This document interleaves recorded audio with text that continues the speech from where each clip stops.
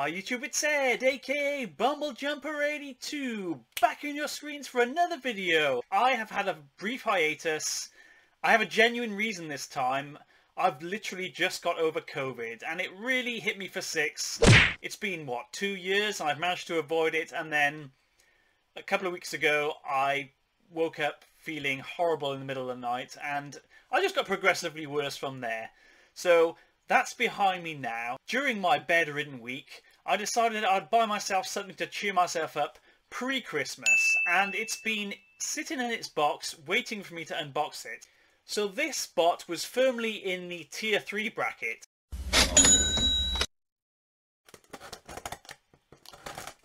They always package nicely in Smyths Toys. Feels like it's been a while since I've done one of these.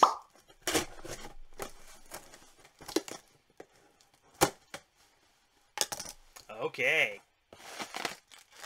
Yeah, styro paper. It's Transformers Legacy, Velocitron Speedia 500 Collection, Override.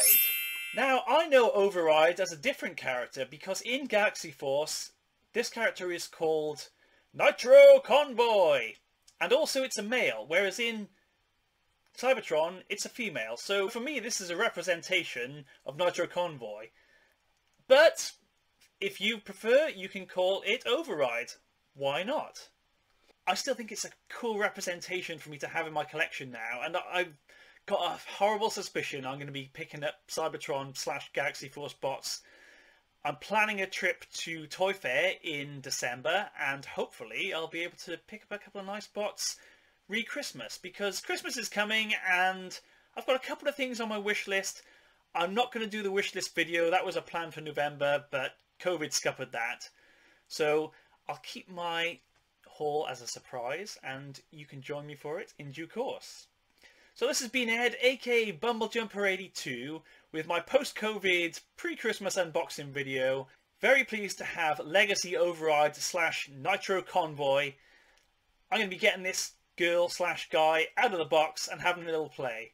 So I'll see you very soon. Looking forward to Santa coming. Take care, peace out, and bye-bye! It's Transformers Legacy Speedia... Let's try that again. It's Transformers Legacy Velocitron Speedia 500 Collection... Whoa...